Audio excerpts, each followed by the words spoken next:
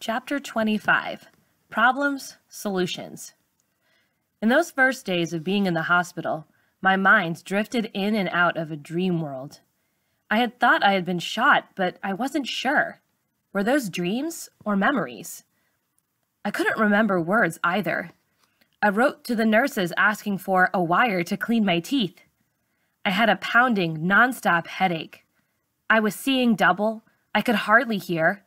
I couldn't move my left arm or close my left eye. But for some reason, all I wanted to do was floss my teeth.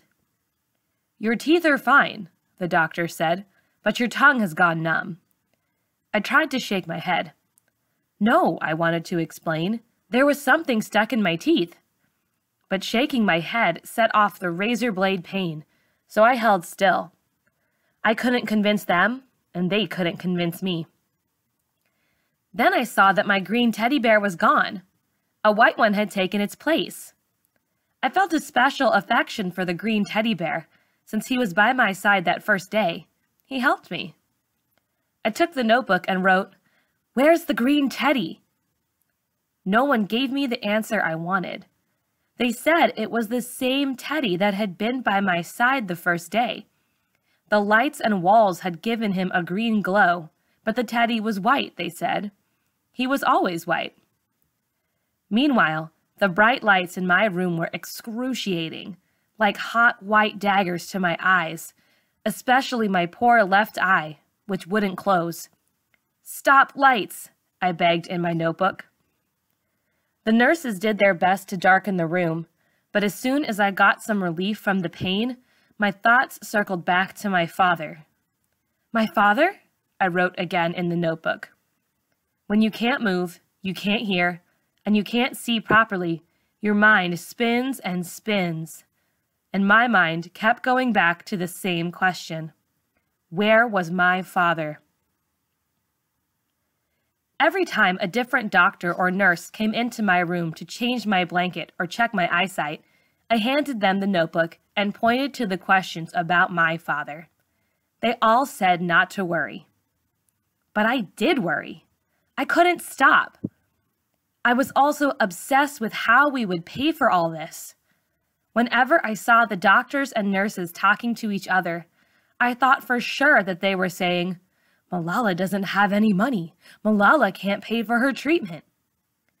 There was one doctor who always looked sad, so I wrote him a note. Why are you so sad? I asked. I thought it was because he knew I couldn't pay.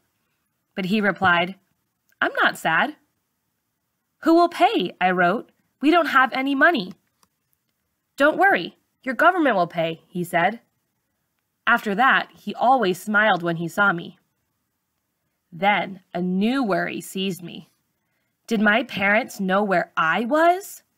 Maybe they were wandering the streets and alleys of Mingora looking for me. But I am a hopeful person, and therefore, when I see problems, I will always think about solutions. So I thought I would go to the hospital's reception desk and ask for a phone so I could call my parents. But then I realized I didn't have the money to pay for such an expensive call. I didn't even know how to dial Pakistan from here. Then I thought, I need to go out and start working to earn money so I can buy a phone and call my family so we can all be together again.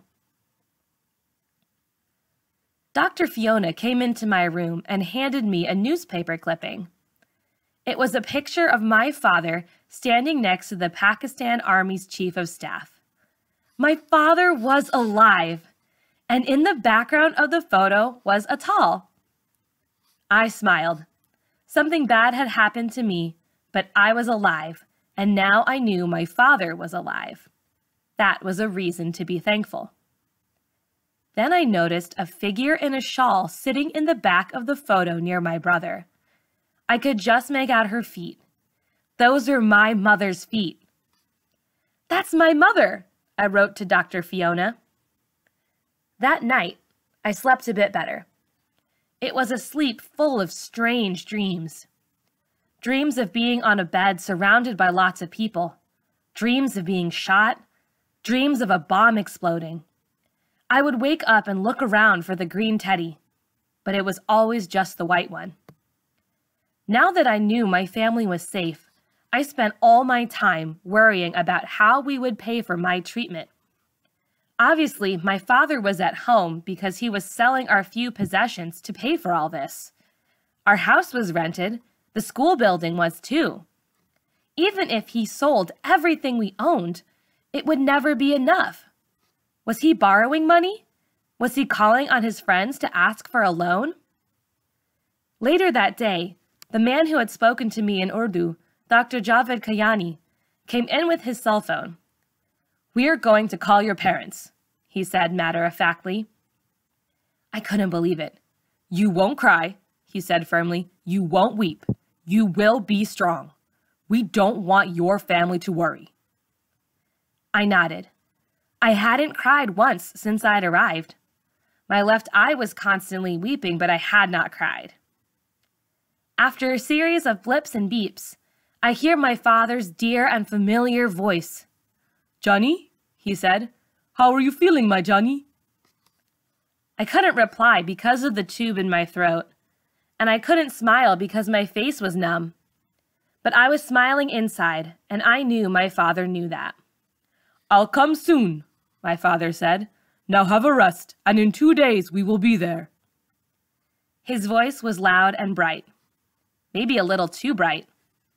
Then I realized he had also been told not to cry.